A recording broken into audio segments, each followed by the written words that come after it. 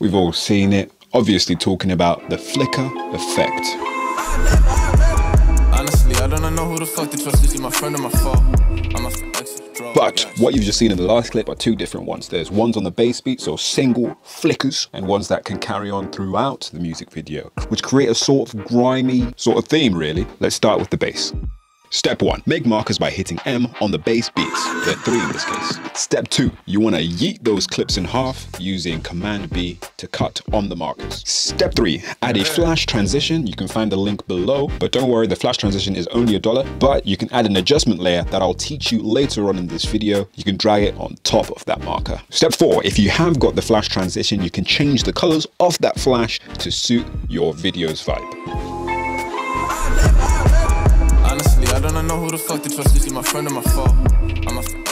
Now, let me show you how to do the traditional flashes throughout the video. Step 1. Add an AMA adjustment layer on top of the section you want to flicker. There you go, just drop it, search it in the search bar and drop it over the top. Step 2. Chop your adjustment layer into clips that are 1 to 2 frames long. So usually I do 1 frame, but sometimes it can look good with 2.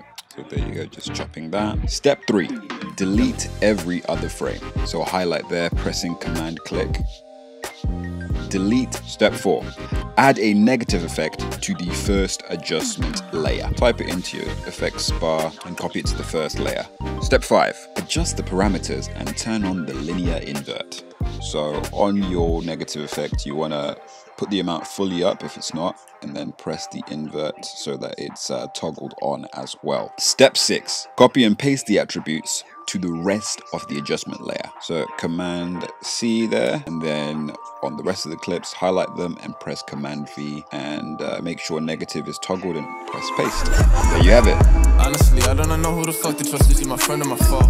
I'm a. That is how you do it. As I said at the start, there will be free and paid plugins, including the AMA adjustment layer and the flash transitions and the flicker transitions. If you can support, that would be great. If you can't, well, I guess you suck, don't you? Get your freebies and get out of here. Free download below.